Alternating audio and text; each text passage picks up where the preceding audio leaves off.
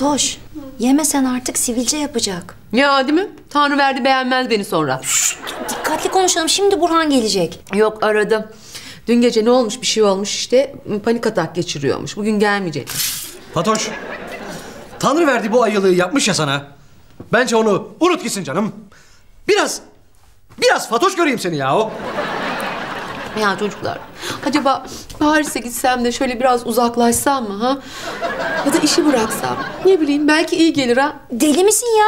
Bir çocuk için mi? Ayrıca onun da kendine göre sebepleri vardır belki ya. Seni taşıyamayacağını falan düşünmüştür Fatoş. Ya çocuklar ben böyle iyimserlikler için fazla yaşlıyım.